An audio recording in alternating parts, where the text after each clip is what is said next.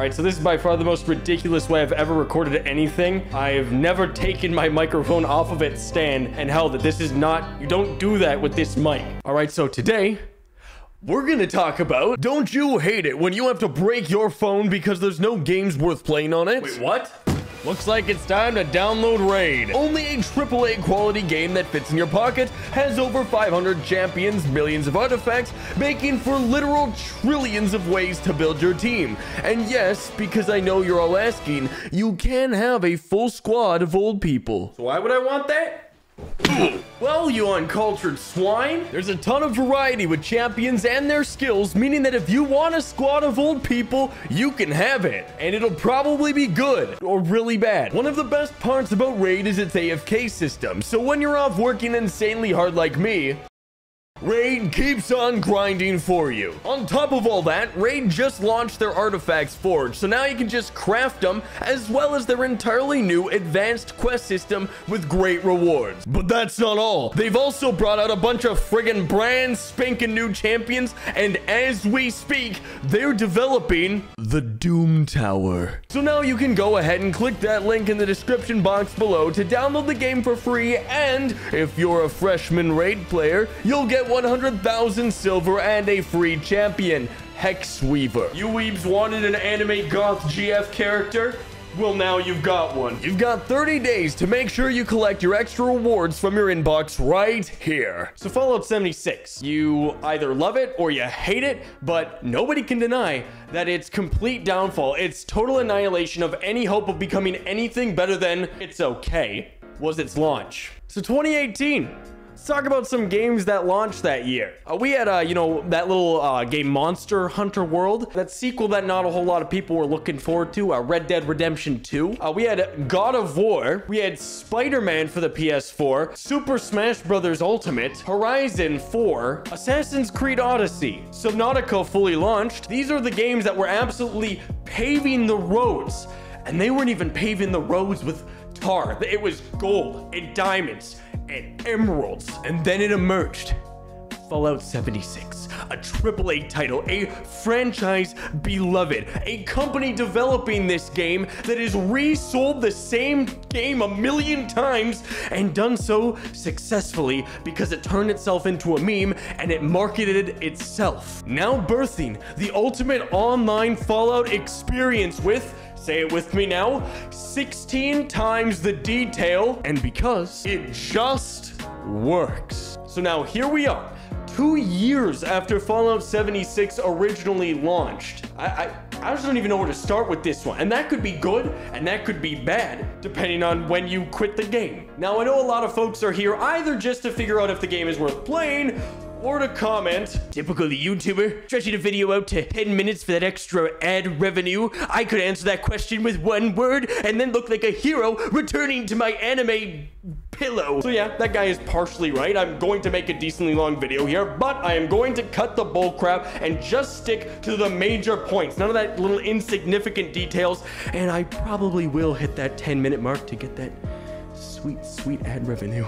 Gotta rotate. This is not a this is not a light microphone by any means. Let's go back to the Fallout 76 beta, the break it early test area or whatever the heck they wanted to call it. A lot of you actually haven't played since then, and look, I don't entirely blame you. You just dropped 70 bucks on this when Red Dead Redemption 2 was coming out in like a week or two. Now, the big question is, has the game actually changed since the beta? In short, yes, it has but only really this year. So last year in 2019, I believe the game was still in a state of trying to figure itself out, trying to, you know, dig itself out of that hole it dug. They released this really promising roadmap, and then all of the content, I mean, all of it, ended up either being incredibly underwhelming, really great, but then completely forgotten, or just complete broken trash, which was eventually actually taken out of the game. You know what's funny? Because last year, uh, there was actually a fantastic launch, and it was it was one week and it was nuclear winter. I know. Out of all the content I could talk about being great, it was the battle royale, but it was true. So many new players flooded into the game. So many players that either just thought it was a piece of garbage game, realized that, you know, they've actually fixed a lot and it's it's a lot better now. And it was just a lot of stupid fun. I mean, we were just dropping nukes on each other. We were using all the completely unbalanced cards and weaponry to just obliterate these players. They had no idea what they were doing but it was just a lot of really stupid fun. It got me away from the main game to experience a game mode with a ton of players and a smaller map instead of a few players in a map too big that you'd probably never see them. All right, let's take Elder Scrolls Online for example. And yes, ESO is an MMO, whereas Fallout 76 is something else entirely. You know, you never truly feel alone in an MMO like World of Warcraft, Guild Wars, ESO.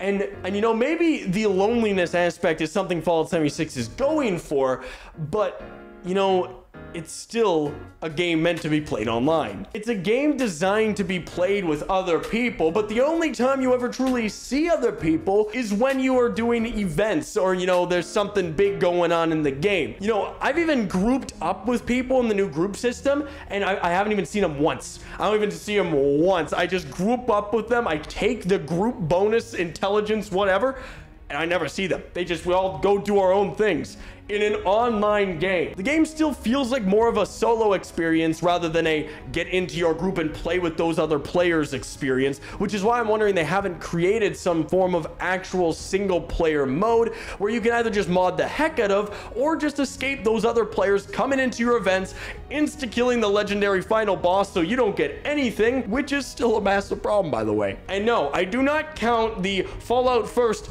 private worlds as some form of single player player mode that you have to pay 10 bucks a month for because that's dumb. Now, I'm not saying the, the solo feeling of this game makes it bad in any way. I'm just saying that that's kind of the experience you get out of it. Regardless of that, content-wise, there's a lot that's actually come to this game. Now, although 2019 had very little to offer in terms of reason to come back to the game, 2020, on the other hand, single-handedly saved the game because I had reached a point where there was so little to do in this game that I was genuinely depressed having to start up the game to figure out what I was gonna do to make content because there was none. This wasn't the gold mine of opportunity that was, you know, Skyrim, Fallout 4, Fallout New Vegas, Oblivion. Now, this was a game that when you played it through once, you would played it in as many ways as you could. Until Wastelanders came. Back in 2019, when they had announced the Battle Royale, they had also announced the better thing, which was NPCs actually coming into the game. That was supposed to come out by the end of 2019, which that didn't work so well and it got delayed for almost seven months. But don't worry, Fallout First came to save the day. That timing could not have been worse for Bethesda or better for gaming news YouTubers. Every single man, woman, child, and their dog jumped on the opportunity to soak up the views that this hate was generating on a mass proportion. Most of these people hadn't even played since the beta. In fact, some of them were using beta footage in their videos talking about this topic. And I'm gonna be 100% honest with you. Bethesda kind of deserved that hate. They delayed the one piece of potential actual content and then Indiana Jones swapped it for some sort of ridiculous subscription. But in this case, Bethesda gets crushed by the boulder. 76 did nothing for months on end but bug fixes, patches, quality of life improvements, but nothing too big, nothing really content-wise. All in preparation for the one big update that could actually bring life to the game. Literally, and save any shred of reputation this game still had in the Fallout community. Even when the die-hard Fallout fans are saying, I'm not even gonna play the other games anymore because of this game, you know you've done goofed. You've done goofed real good. When it seems like the only players that you ever encounter in the game were either hackers, people using photo mode, or YouTubers like myself, you got a problem. But it doesn't matter who was playing, the game was so dead that sometimes I would join a world in a free play weekend and the game was so dead I thought I accidentally bought a Fallout First subscription and joined a private world. So then where did all that lead? How can a broken, dead, contentless, two year old game do anything other than lay down in the dirt. They can slam humans right into that their game. That's what they can do. And that is exactly what Fallout 76 do. It seemed like the whole gaming world, especially Bethesda fans, watched with eager eyes, and they just expected the game to do nothing else than to take one big gasp breath of air before passing on, but it didn't. So Wastelanders launched, and it was single-handedly the greatest thing to come to Fallout 76. Now that is mostly because most of the other content had been completely removed by this point. There were two massive campaign factions that were introduced, and your builds your your intelligence, your charisma, that stuff actually mattered in conversations. We haven't seen that kind of NPC interaction since well, New Vegas. There were tons of interactable NPCs, enemy encounters, new locations to explore, new weapons and armor to acquire. They introduced another currency into the game.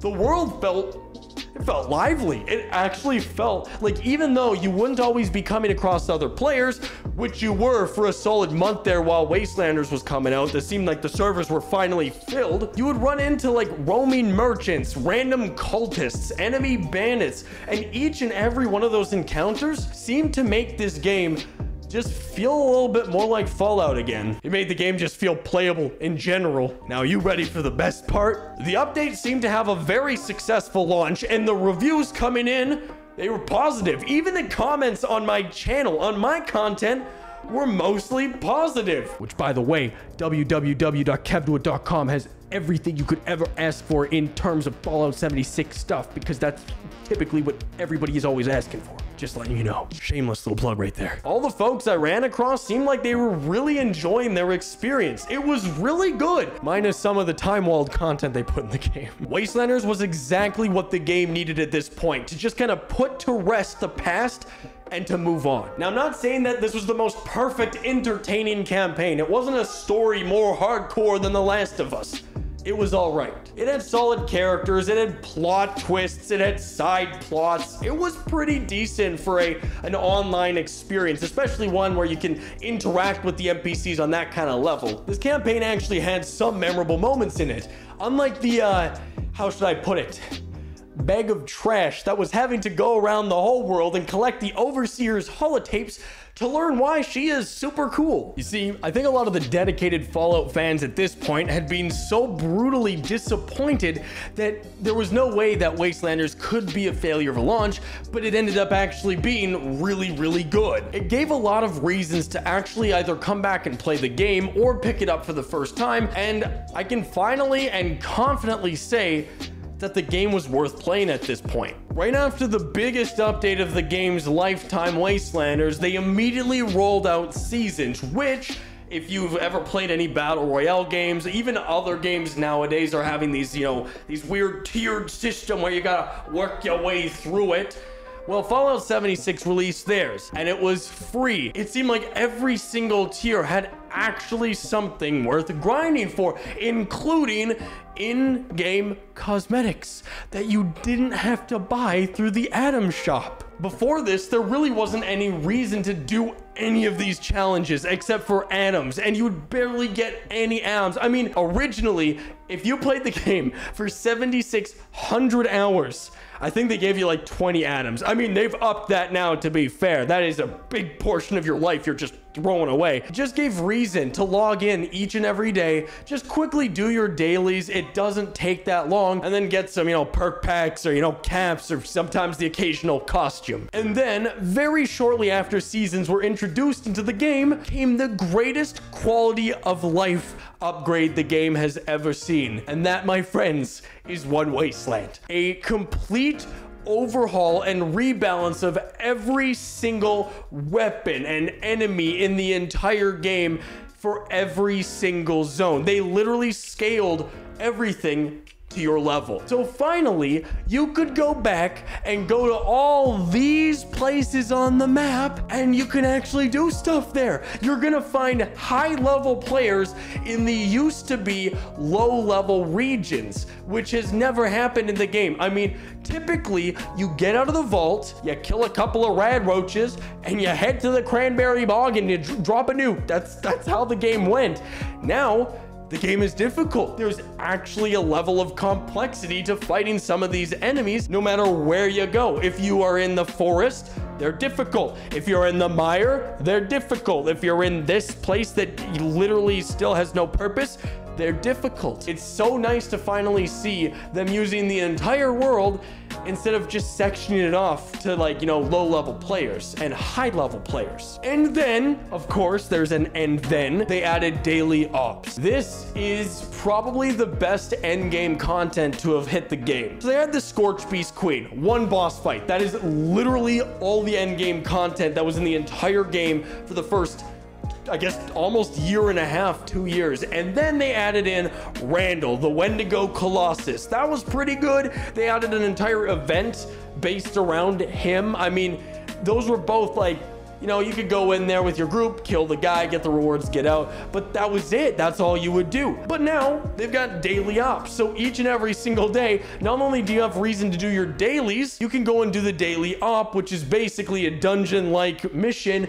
with randomized enemies that have randomized complicated mutations to make them more difficult to fight, as to which you have to actually go in with strategy. The objective part of it is a little bit repetitive. It is the same thing. Capture point A, capture point fight the big boy, get a bunch of crappy items, never get the Warglaive because you're not that lucky. And then finally, they nerfed the broken weapons. It's been so long that players have had these weapons that they should not be in the game. I mean, they're not hacked, but they're so brutally deadly that they, they might as well be hacked. They're called Legacy or Magic Legacy. Doesn't matter. They just do what they shouldn't do, and they do it way too good. So finally, they've removed a ton of those weapons from the game, meaning that they've actually made the game more balanced, more difficult, higher risk, but higher reward, better endgame content, NPCs, a battle pass with daily and weekly challenges to grind for, which gives you good cosmetics and cool stuff. This has been a good year for the game. I'll admit it, I was completely ready to move away from this game at the beginning of the year. It was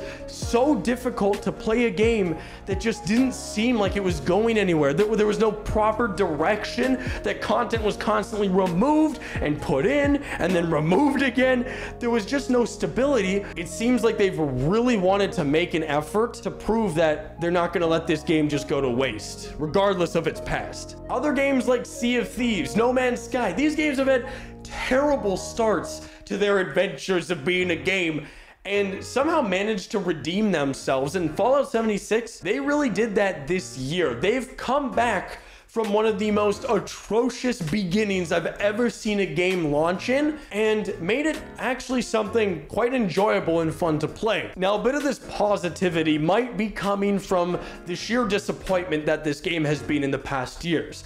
I mean, this is taking a beloved franchise's name and then just just dragging it through the mud, man. It's just dragging it. And at this point, some Fallout fans still refuse to even play the previous titles because of this one. I've been playing this game since the beta. I have seen everything. And I'm not the best player out there. I'm not the most powerful. I'm not the one crunching all the numbers here. But I know this game pretty well. I've understood what it is and what it has been in the past and being able to see and enjoy everything it has become now. It's been a long two years with this game. And to any devs that uh, I might have possibly offended through some of the harsh things I said about this game in the past. I hope you guys know how much I appreciate you guys taking the time to really listen to the feedback that the players have given, that, to like understand that the game was not in a good place, but you did whatever it took to get it there. You guys have done such an amazing job this year. You should be so proud of yourself you know, however much that means coming from me. So much has changed with this game. So much has been added, removed, balanced, yada yada, all that goodness. At this point, all that matters is that it seems like the game is finally moving in a far better direction. The thing is, you can't go into this game expecting just another Fallout game. It is entirely a different experience because there are Fallout New Vegas fans that love this game. There's Fallout 4 fans that hate it and vice versa. I really don't understand who the target audience for this game is. But for me, I've just come to enjoy it for what it is.